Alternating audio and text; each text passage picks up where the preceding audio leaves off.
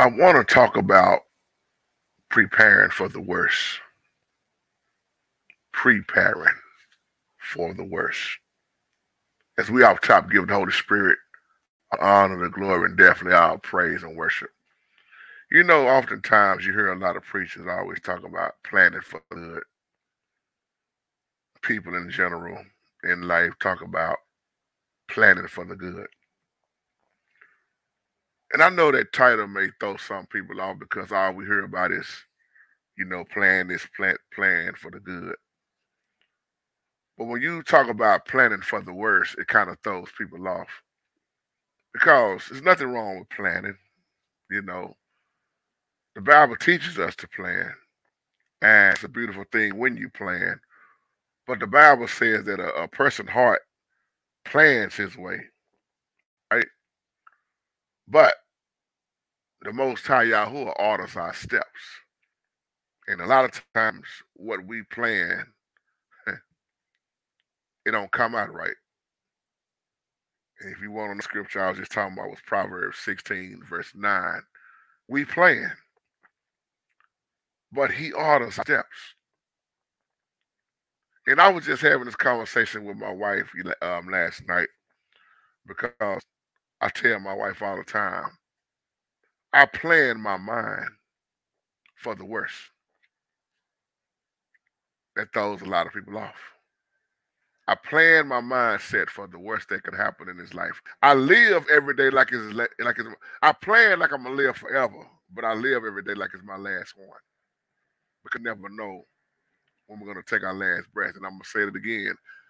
I I plan like I'm gonna live forever, and I know I'm, but I live every day like it's my last one. And the old folks will expect the unexpected because in this life, you don't know what these trials and tribulations are going to be, whether it's financial, sickness. I mean, you just don't know. And that's when it shows, when you show your true faith in the Holy Spirit, your trust when you when you um get to going through situations in your life, I've learned to trust in him. And I have a support system. What, what, what do you mean, JT? The Holy Spirit will put you around some praying warriors. The Holy Spirit removes people out of your life if you if you allow the Holy Spirit to work on you. The Holy Spirit will, will it's pruning season for a lot of people. You don't need this person, need that person. You don't need this family member. You don't need this co-worker. You don't need this church no more. You don't need this pastor no. Somebody better catch this. There is a time and a season for everything under the heavens, Ecclesiastes chapter 3. And when he surrounds you around that support system that you need, it's a beautiful thing because now you have people that will have your back versus the people that you used to be around that didn't have your back. So it's always best to have a support system. Okay? There is a scripture in Proverbs 21, verse 30. Uh, 20, no, yeah, verse 20, chapter 21, verse 31. Because it's teaching you to prepare for the worst. A lot of people don't catch this scripture. When you read the whole chapter, so awesome, but then it talks about a horse, you know, getting a horse ready. You can prepare horse all you want. But when it's battle time, even with your preparation, Bible is showing you it's the most high that gets the victory. What what you mean by that, JT? We can prepare all day and all day, every day. You can pr- prepare for the worst, prepare for the best and the worst. But your trust is in the Holy Spirit. The Holy Spirit is not fighting the battle. The Holy Spirit already showed us that the victory is won, even if it means death. The victory is won. Teach Holy Spirit. I try my best to lean into my own understanding. Now, the reason why I want to start this video off like this, because this is for you too, Dana Way, as you text me the other day around this time here, so many people have already died. So many people are dying So many people are living in the hospital. So people need encouragement. People need support. People need love. People need to be prayed for. That's why I say I don't have a holiday spirit. I have the Holy Spirit. And last night, Brother Dana Way, I hooked up with my mom and sister the one I told y'all to help me pray for. Um, Brother Hall, appreciate you praying too the other night. We um went to visit her at UT Southwestern last night, and uh, not gonna lie to you, it's, it's it was hard to look at um, because that's somebody real close to my family. Been best friends with my mom for yay high. Um, me and her daughter is very close. Shay, shout out to you. Shayla came last night. But to see your loved one um, going in and um, not really recognizing who you are, going in and not doing know who your own daughter is at times, losing so much weight. Uh, they, I think they say she got about four different cancers. Her bones is deteriorating. Uh, mine is just going in and out. You know, with, like like mom said last night, the higher they got you up on the floor, you know what time it is. They done pretty much said there ain't nothing else they can do. But one thing I love that my mom said last night, she told her one best friends that you have to be spiritually prepared. Spiritually prepared. Because one thing that bothered us last night Mama JTA said, Girl, how do you feel? She said, I'm ready to die. And then she said she didn't believe in God for a moment. She just said, Yeah, yeah.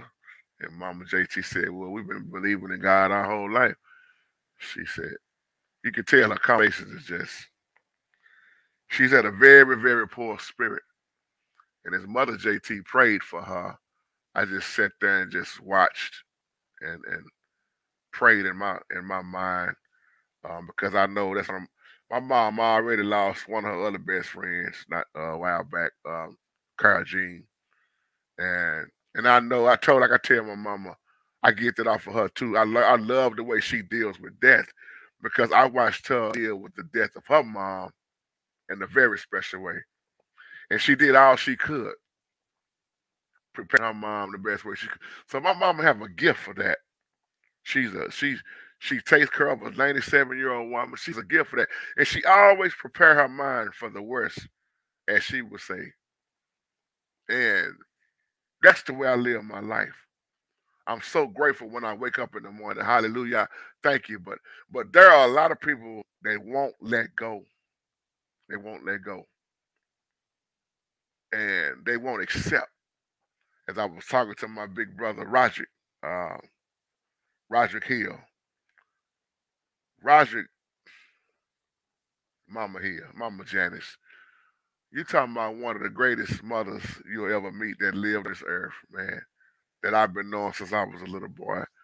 She had about four or five different cancers, and her bones deteriorated. I love Roderick's spirit because Roderick told me, I asked him about his baby brother Ernest. He said, man, don't come around. Don't nobody see him because his baby brother has not accepted the Holy Spirit bringing his mom home. He's not the only one like that. And as Roger, big brother, you have to accept it. When a lot of loved ones die, many people get angry at most time. Not simply knowing that death is the way out of here.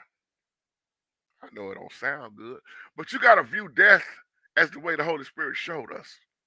He said, Death, catch what he said though, for his saints, his children in the book of Psalms. He said, Death is precious in his eyes. We want to sit up and have a pity party. Why you take my mama? Why you take my daddy? Why, why, why, why, why? If that person had their heart right, they're in better shape than you is living. That's the part a lot of people don't want to look at right paradise. Every, I ain't say everybody went to paradise. Some of these preachers be up in their line preaching the unsaved funeral talking about they're in a better place and they're in the worst place. But you have to learn to accept his will. We so quick to our prayer saying, and let your will be done. But when his will is being done, how many people got a problem with it? So I just wanted to talk to you for a moment to to just remind us you can also prepare for the worst. This is one thing my wife loves about me because she said you don't never stress about stuff. You don't never. The Bible tells me don't worry. The Bible tells me don't even worry about tomorrow. Each day got enough trouble of its own in the book of Matthew. So why am I going about next week and next year? I'm just happy to be here. Today, the Holy Spirit have allowed me to see another best day. A lot of people say happy birthday. I say another blessed day. December the 20th. I'm blessed to be here when I went through so much with my body. But look at me, I look good. I tell myself every day, boy, you're a handsome man. You look good. When they told me to make preparations, I said, I'm always prepared for the worst. But I live every day like it's my last one. I plan to live forever. Somebody better catch that. Because when I die, I will live. I will have a new body, a glorified body, a spiritual body that's promised, that's on me. And I don't want to miss it. And none of us should want to miss it. Don't get so caught on this life that you don't think and be concerned about the afterlife. Because one day this heart gonna stop beating. And I'm gonna take my last breath. So I want to encourage y'all. All this going through losing loved ones, I, I know it, and I know it's not easy to deal with, but keep in mind, Yahweh is the best way. All of us should be working toward our goal, which is eternal life, salvation. In spite of what it looked like living right now. So, with that being said, I love y'all, and y'all take care and have a wonderful, wonderful, blessed day. Shalom.